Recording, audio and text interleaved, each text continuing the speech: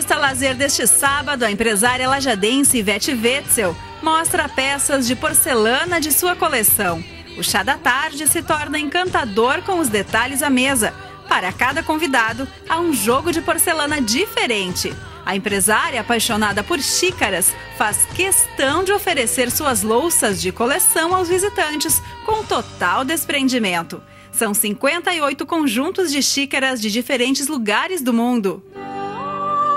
Na gastronomia, o empresário da construção civil Giovanni Souza mostra suas habilidades na cozinha e apresenta uma deliciosa receita de salmão ao molho de maracujá. Ficou com água na boca?